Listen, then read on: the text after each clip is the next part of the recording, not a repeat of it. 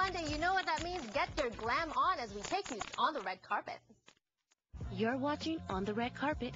Get the latest Hollywood news brought to you by Pacific Rim Photos and Videos. Your eye on the red carpet. And I'm so thankful because the gods finally heard me. Last week, Peter, I told Chris that I, I've been missing uh, Peter. Where is he? And now you're here. I'm Ta-da. here. My genie was good to me today. Hello Yeah. and welcome to Kababayan LA. Good to see you again. And you know what? I understand that you've been so busy. In fact, last week alone, alone you covered a lot of events. Let's start with Michael Jackson. Oh yeah, Michael Yeah. Jackson Hand and Footprint. That was so exciting. Thinking about it, it's really historic. You know, that's the first time actually uh, it was a posthumous uh, uh, hand and footprint that was given out for Michael Jackson, which is never done before. Right. So, and so yeah. many stars came out, even Justin Bieber, but you actually got to talk to some legends and a funny man, so Smokey Robinson and Chris Oh, Chris yeah. Tucker. Here's the interview. If you're doing karaoke, you're singing along while you're driving, what Michael song do you always go to? What's your favorite one to sing to?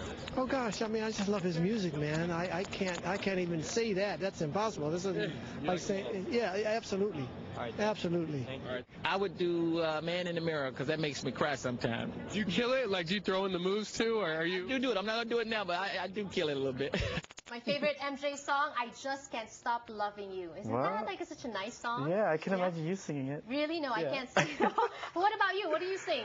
Oh gosh, heal the world. Heal the to dancing, Peter, can, can we talk about dancing? yeah, of course. Get your dancing shoes on. America's Best Dance Crew auditions last weekend, and you were there. Yes, How was was it? How was? I'm, I'm, I'm guessing the energy was just powerful. Oh yeah, it was really powerful. There was this year was crazy because since because of Iconic Boys from last season, there were tons of kids auditioning, but still we still had we still had a lot of good adult crews that were there. Yes. And it was like from 9, 10 a.m. till 7 or 8 at night. Right. Here are some of the highlights.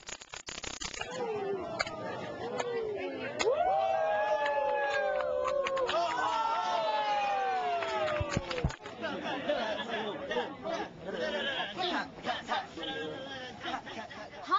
the um, the movements are prepared or practiced, and how much are just you know feeding off of what the public is giving them as a vibe? Oh, a lot of them practice. They, they can practice for months.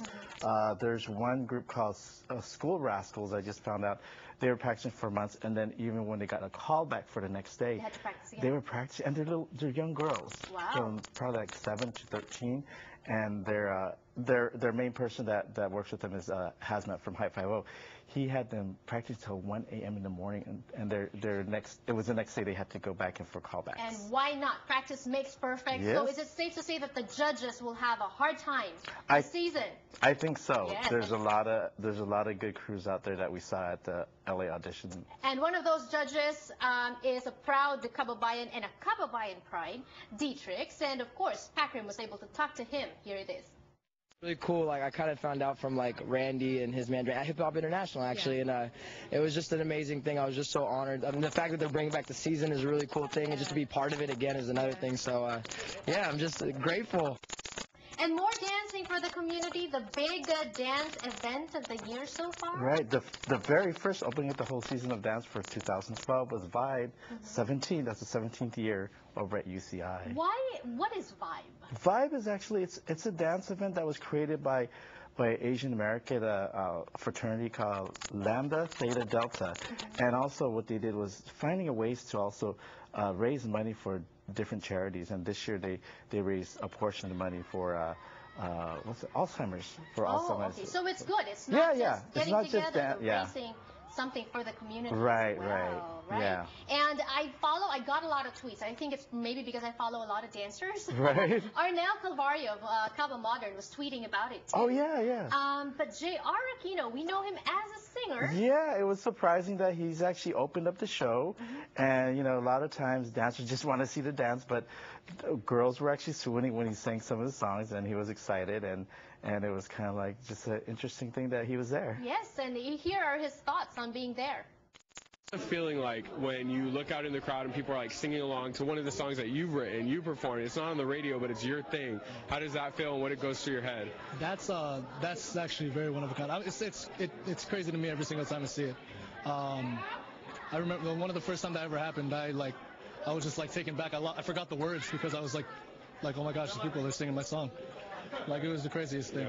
Great. All right. Uh, what are you working on this week? Ooh, well, we definitely have uh, The Vow with Channing, Channing Tatum. There should be a red carpet. The Vow. It looks Yeah. like a good movie. Yeah, very interesting. So we're going to see what tearjerker? happens. yeah, very much Yeah? love, Uh-huh. tears. Mhm. Yeah, actually, it's a true. It was actually based on a true story of a, uh, a, a husband have to making his wife fall back in love with her Oh, because of uh, you know uh, memory loss. Right. Wow. Yeah. Very interesting. Very much like The Notebook, right? Something like Something that. like that, yeah. Right. Okay. Anything else?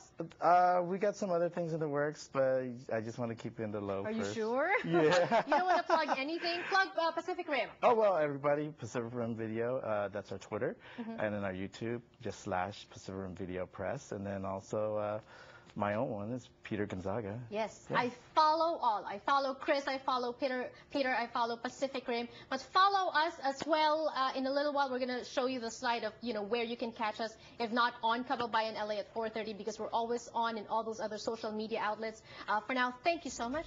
More power to you. Have a great week. This is. Benjanelle Sawyer, Kababayan in Los Angeles. I'll see you again tomorrow.